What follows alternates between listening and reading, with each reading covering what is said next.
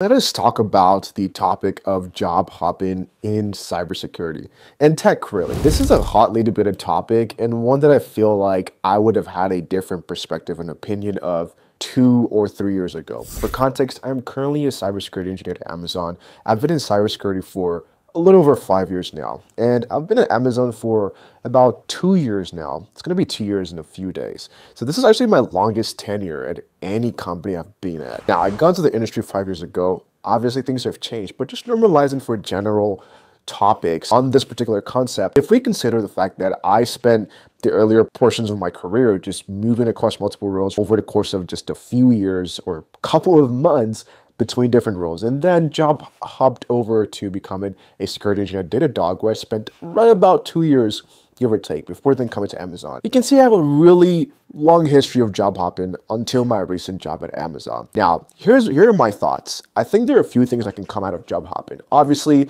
you can quickly just go higher in your levels for roles or move between different sort of like job types from engineer to analyst or analyst to engineer in this case. And also you can quickly uh, drastically increase your salary by multiple percentages, even up to like 100%, you know, of your salary, which I've seen in some of my cases. So there's a lot of benefits there, right? You can move fast in your career, you can change your job type or your job role, and you can make a lot of money from that. You get a significantly different uh, amount of money by job hopping compared to usually when you get a promotion.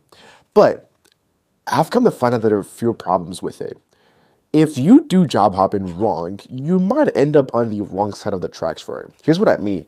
If you job hop too fast, you might end up realizing that you're not staying long enough in a role to actually get to the most challenging aspects of it. I feel like a year in most roles, especially cybersecurity engineering at large companies with a lot of scale and complexity, it takes you a little bit of time to like get your footing and really start to make an impact or deliver results there. If you move too fast, you may never really get to that point, or you may never really get to a point of fruition for your efforts. So you might not be really realizing gains there that might come from actually spending a little bit more time, like two years, three years, four years, five years. Now, I know for some that's very unpopular, but I'm really starting to think that staying longer in a place to realize impact and expand your scope um, as a cybersecurity professional might be actually a little bit more beneficial than job hopping. Now, obviously, there's some you know drawbacks to it for maybe making more money in the long term, but I think in the long term, if you play your cards right, you might end up being better off for it by staying longer to have more impact, more realized impact, and build more lasting experience that actually helps you over the longer term period of your career. Let me know what your thoughts are in the comments below. I think there are a lot of different perspectives and opinions about this.